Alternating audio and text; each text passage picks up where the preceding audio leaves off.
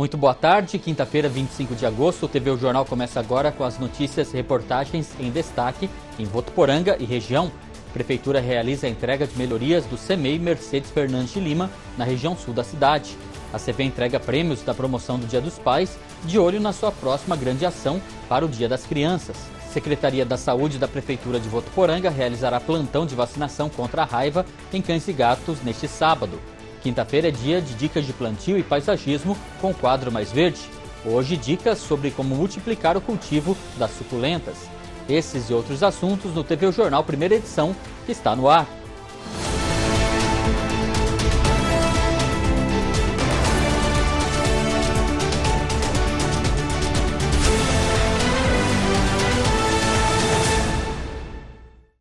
Como parte do calendário de comemorações pelos 85 anos de Votuporanga, a Prefeitura realizou na tarde de ontem a entrega de melhorias do CEMEI Mercedes Fernandes de Lima, na região sul da cidade.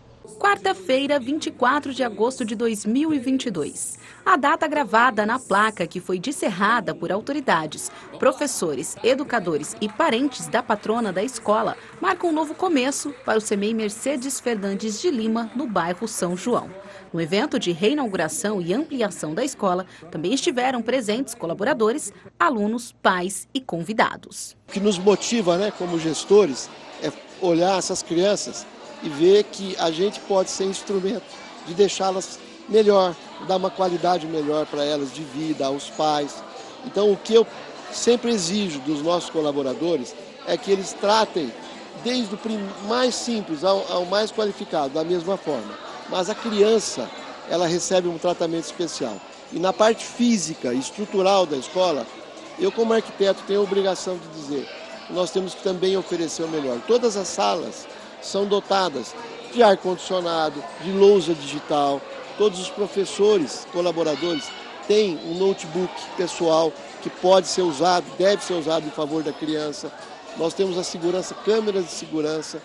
O cerimonial do evento contou com uma apresentação de dança realizada pelas alunas do Semi Mercedes, pronunciamentos e também emocionantes homenagens. A diretora da escola, Keila Jimenez, fala sobre a importância desse olhar para a educação no município. Quando reforma, amplia, novos recursos, então isso vem agregar e melhorar. Então, assim, seremos muito mais felizes aqui agora, né? Por conta de. A gente atende melhor, atendendo melhor, a criança também fica melhor, né?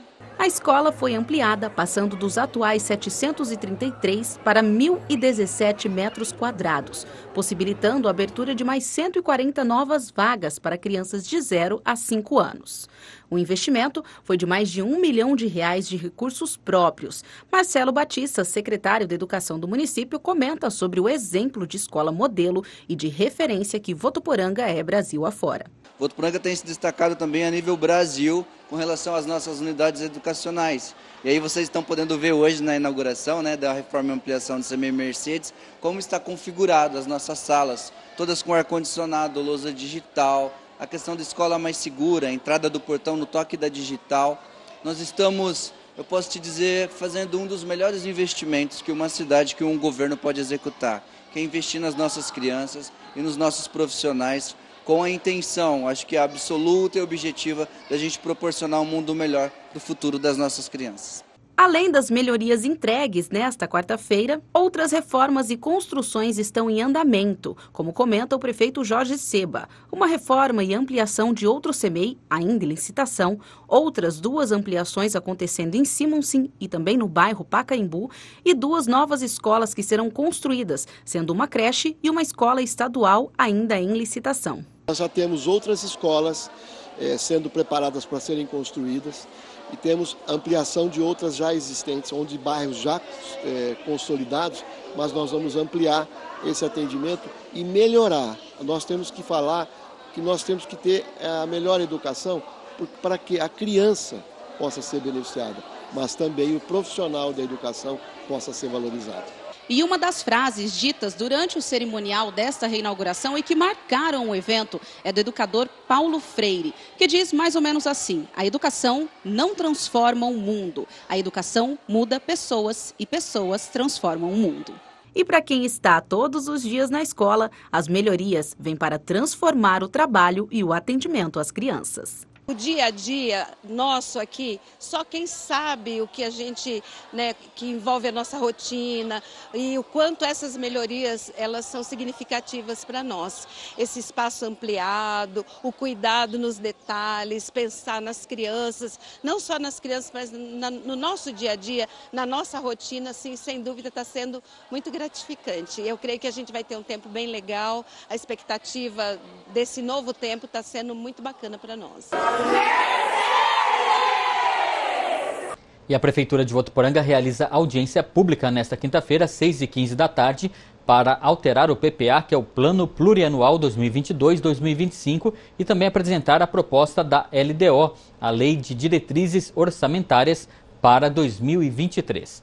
A audiência pública será no plenário da Câmara Municipal, o plenário que leva o nome Dr. Otávio Viscardi. Câmara localizada na Praça Vereador Viana Filho, no bairro Vila América. O ato também será transmitido pelo canal da Prefeitura no YouTube para a alteração do PPA e também elaboração da LDO. A Prefeitura recebeu sugestões dos moradores através do site para melhorias em seus bairros, com a finalidade de incluir as propostas nas leis orçamentárias. E hoje pela manhã, a Associação Comercial de Votuporanga realizou a entrega dos prêmios da campanha do Dia dos Pais. Agora a CV se prepara para a sua próxima grande ação no Dia das Crianças. A Associação Comercial de Votuporanga reuniu a imprensa, autoridades, diretoria e os ganhadores da campanha Meu Pai Merece Esse Presentão, na manhã desta quinta-feira, no auditório da entidade, para a cerimônia de entrega das premiações. O evento ainda contou com a presença dos atendentes responsáveis pelas vendas aos sorteados. Entre os mais de 100 mil cupons distribuídos no período que antecedeu o Dia dos Pais, foram retirados os nomes dos ganhadores, que são todos moradores de Votuporanga. Quem levou o prêmio principal, o Vale Compras no valor de 10 mil reais, foi Maiara Ferraz Campos, cliente do supermercado Porecatu. Na hora eu não acreditei muito, mas foi gostoso, porque eu estou precisando comprar umas coisas em casa. Gostei sim. Para gastar bastante então? agora dá para gastar bastante, no mercado gastar bastante. No total, foram quase 18 mil reais em prêmios. A campanha também premiou três bicicletas e cinco vale-compras no valor de 500 reais. Os atendentes responsáveis pelas vendas aos sorteados também ganharam 150 reais em vale-compras. Para o presidente da ACV, Glauco Ventura, a avaliação da promoção é extremamente positiva. Olha, avaliação muito positiva, né? É, pela quantidade de cupons que foram distribuídos, a gente teve mais de 100 mil cupons distribuídos e pelos dados prévios aí dos comerciantes, teve um acréscimo de 10% de venda com relação ao ano passado. Então, nós ficamos muito felizes com a campanha e é o resultado tá aí. Após o sucesso da promoção do Dia dos Pais, a Associação Comercial se prepara para a sua próxima grande ação no Dia das Crianças. Nós já estamos é, trabalhando, fazendo as reuniões com o Departamento de Marketing. Nós temos a campanha do Dia das Crianças agora em outubro e logo em seguida já tem o Natal. E a CV convida empresários do ramo e a imprensa a participarem da Assembleia Geral Extraordinária que visa a elaboração do calendário de abertura do comércio entre dezembro deste ano e dezembro do ano que vem. Júlia Domenses conta os detalhes para a gente. A reunião será realizada nesta sexta-feira, dia 26, às 8 horas da manhã, no auditório da entidade, coordenada pelo presidente Glauco Ventura. Conforme as discussões apresentadas, será elaborada uma proposta que prevê antecipar as definições sobre abertura de lojas em períodos especiais. Para o atendimento em período estendido nas semanas que antecedem o Natal, assim como em feriados prolongados e alguns sábados. A iniciativa da ACV visa atender a reivindicação dos comerciantes que precisam de uma prévia definição dessas datas para planejar o ano de suas empresas. O público presente na Assembleia poderá compartilhar as suas sugestões. Com base nas ideias apresentadas, será montada uma proposta de calendário para apreciação dos sindicatos do comércio e dos comerciários, a quem competirá a formalização legal do documento. Mais informações podem ser obtidas pelo telefone 17 3426 4044. E a Secretaria da Saúde da Prefeitura de Votuporanga realizará plantão de vacinação contra a raiva em cães e gatos neste sábado, das 7h30 da manhã ao meio-dia e meia, na sede da Vigilância Ambiental, que está em novo endereço na Avenida Doutor Augusto Aparecido Arroio Marque, 4221, no Jardim de Bortoli. O estudante do curso de Publicidade e Propaganda da Unifev, estagiário aqui da Rádio TV Unifev, Lucas Bafone, participa e traz as informações podem ser vacinados cães e gatos acima de 3 meses que estão em boas condições de saúde. As fêmeas não podem estar em período de gestação ou em fase de amamentação. É importante manter a vacina em dia, pois é a única forma de prevenção contra a doença, além de ser, além de ser determinada por lei para todos os tutores de animais. Diferente da forma como era realizada a campanha em anos anteriores, neste ano ela passou a ser promovida em caráter permanente. Portanto, durante a semana, a vacinação ocorre no mesmo local, das 8 da manhã às 4 horas da tarde. Vale lembrar que a raiva é uma doença transmitida dos animais ao homem e vice-versa, por um vírus mortal, tanto para o homem quanto para o animal. Envolve o sistema nervoso central, levando ao óbito após curta evolução. Mais informações sobre a vacinação podem ser obtidas através dos telefones 17 3406 3175 ou 0800 770 97 86. E a falta de chuva traz estado de alerta de atenção em Votuporanga. Em razão do rigoroso período de estiagem e chuvas fracas, a SAEV Ambiental alerta sobre a importância do uso consciente do recurso natural. A estudante do curso de Publicidade e Propaganda da Unifev, estagiária aqui da rádio e TV Unifev, Mariana Barbarelli, tem mais informações. Votuporanga está em estado de alerta em relação ao nível da represa municipal, prefeito Luiz Dearo, um dos pontos de abastecimento de água da cidade. Nem mesmo a chuva do início de agosto foi o suficiente para aumentar o nível da represa. Por conta disso, a Saev Ambiental faz um alerta à população sobre a importância do uso consciente da água. Segundo medição, o nível da represa baixou 50%, isso sem contar que o consumo aumentou 3%, se comparado com o mesmo período do ano passado. Esse aumento tem como principal causa o desperdício. O superintendente adjunto da SAEV Ambiental, Gustavo Vilela, afirma que atitudes simples podem evitar o desperdício desse recurso natural, principalmente nesse período de seca. Entre as dicas de uso consciente de água estão tomar, tomar banhos curtos e, sempre que possível, fechar o chuveiro, ao escovar os dentes, manter a torneira fechada, reutilizar a água que sai da máquina de lavar, não utilizar mangueiras para lavar carros e quintais e utilizar a vassoura para limpar as calçadas. E vamos à previsão do tempo. Segundo o portal Clima Tempo, nossa quinta-feira continuará ensolarada e com rápida elevação nas temperaturas no período da tarde e sem previsão de chuvas.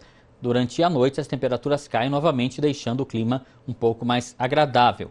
Em Américo de Campos, temos hoje a máxima de 31 graus e a mínima de 21 graus, com umidade do ar em 53%. Em Meridiano, temos a máxima de 31 e a mínima de 20, com umidade do ar em 55%. Em Macaubal, temos a máxima de 31 e a mínima de 20 graus, com umidade do ar em 62%. Já em Votuporanga, os termômetros marcam a máxima de 32 e a mínima de 20 graus. No momento, a temperatura e sensação térmica 31 graus. A tendência é que a temperatura tenha rápida elevação agora no período da tarde e caia novamente ao anoitecer. A umidade do ar em Votuporanga atinge a máxima de 57%. Lembrando que as informações são do portal Climatempo. Agora uma pausa rápida para o nosso apoio cultural. Daqui a pouco você vai ver as vagas de trabalho da semana no quadro Emprego. Tem também as dicas sobre plantio de suculentas no quadro Mais Verde. O TV o Jornal volta rapidinho.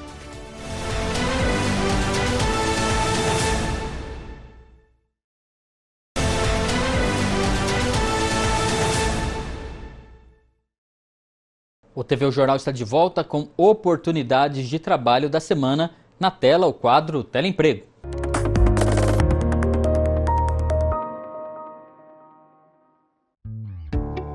A Associação Comercial de Votuporanga encaminha para contratações a vagas para vendedora, sete vagas, comercial, três vagas, produtora de vendas, atendente, duas vagas, designer gráfico, duas vagas, mecânico, recepcionista, motorista, duas vagas, marketing, duas vagas, operador de telemarketing, mecânico de bicicleta, mecânico eletricista de automóvel e mecânico de moto.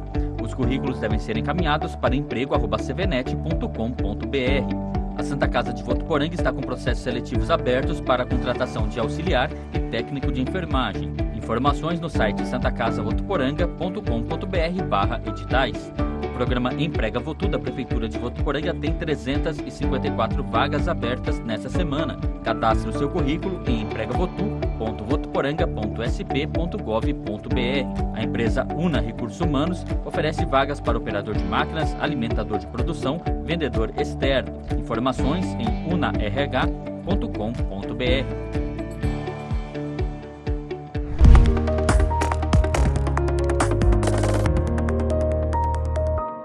E ainda sobre oportunidade, a presidência da Fundação Educacional de Votuporanga comunica a todos que estarão abertas no período que começa hoje, dia 25 de agosto, e segue até o dia 8 de setembro de 2022, inscrições para a seleção e eventual contratação de candidatos para o cargo de analista de sistema. São duas vagas abertas. O edital na íntegra e a inscrição encontram-se à disposição dos interessados no site unifev.edu.br. Mudando de assunto, o Consórcio de Turismo Intermunicipal da região turística Maravilhas do Rio Grande e o Fórum Permanente de Turismo da região turística Maravilhas do Rio Grande lançaram um concurso artístico Dê um clique em Nossas Maravilhas para eleger 14 fotografias que irão fazer parte dos acervos. Voltamos a falar sobre isso com o estudante do curso de Publicidade e Propaganda da Unifev e estagiário da rádio e TV Unifev, Lucas Bafoni. O consórcio é composto pelos municípios de Cardoso, Fernandópolis, Guarani do Oeste, Indiaporã, Macedônia, Meridiano, Miristrela, Oroeste, Paulo de Faria, Riolândia, Valentim Gentil e Votuporanga. O concurso artístico tem como finalidade promover e registrar diferentes sentimentos e olhares sobre as belezas da região turística Maravilhas do Rio Grande. Qualquer morador dos 14 municípios com idade a partir de 18 anos poderá participar do concurso. As inscrições vão até o dia 9 de outubro. Os autores das fotografias vencedoras receberão uma premiação de 200 reais. Mais informações sobre o regulamento e a inscrição estão no site maravilhasdoriogrande.com.br. Tá certo, e ainda sobre cultura, Votuporanga recebe neste domingo mais uma edição do Circuito Sesc de Artes. Mariana Barbarelli, estudante de Publicidade e Propaganda da Unifev e estagiária da Rádio TV Unifev, tem mais informações. Promovido pelo Sesc São Paulo em uma parceria com a Prefeitura de Votuporanga, a programação do Circuito Sesc terá início às 16 horas e será realizado aqui na Concha Acústica. Entre as atrações constam teatro, dança e circo, shows musicais, oficinas, intervenções, vivências, ações literárias, cinematográficas, de artes visuais e tecnológicas. O evento é realizado em 118 municípios do estado de São Paulo. Durante um dia em cada cidade, os artistas realizam espetáculos, shows e oficinas nas praças e parques. O objetivo é estimular o uso dos espaços públicos como fundamentais para o convívio social e troca de experiências. Toda a programação com endereços e horários você encontra no site oficial do evento, que é o www.sescsauPaulo.org.br. E toda quinta-feira você acompanha aqui no TV o Jornal Primeira Edição, quadro Mais Verde. Hoje, Júlia Domênices traz mais dicas sobre as suculentas.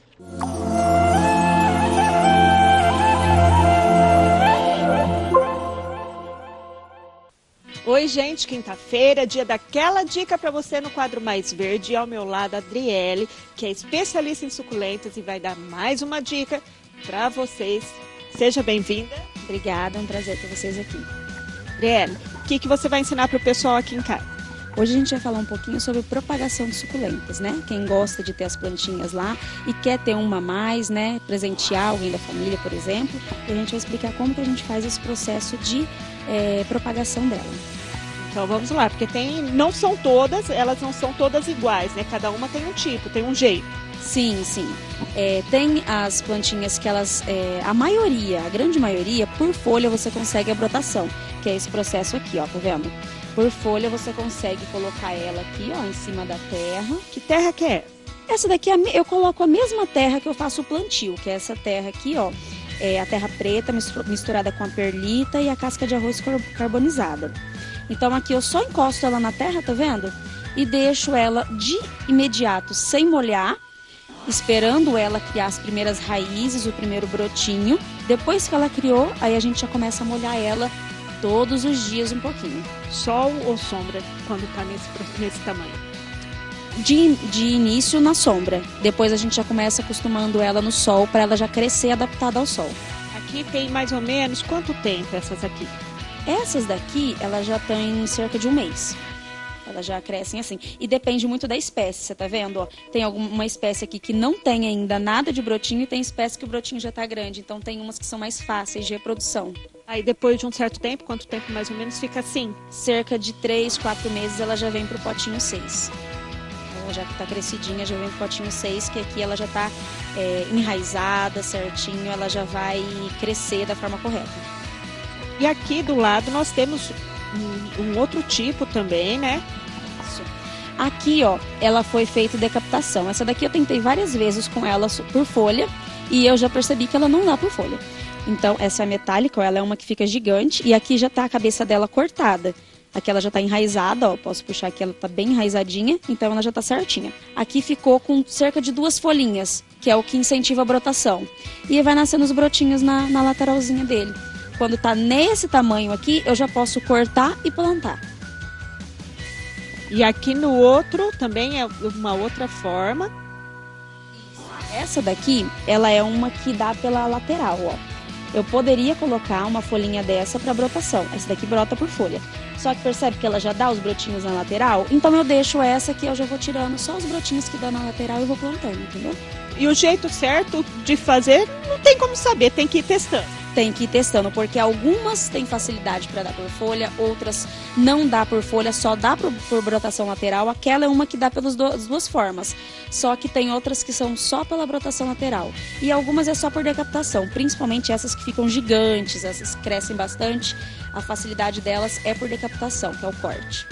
Tá certo. Olha só, gente, que bacana, interessante, né?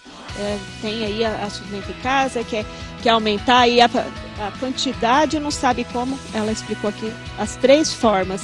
Olha, Adriele, muito bom. Parabéns, muito obrigada. Obrigada a vocês. Bom, gente, tá aí a dica. Espero que vocês tenham gostado. Até a semana que vem. Até lá. Tchau, tchau.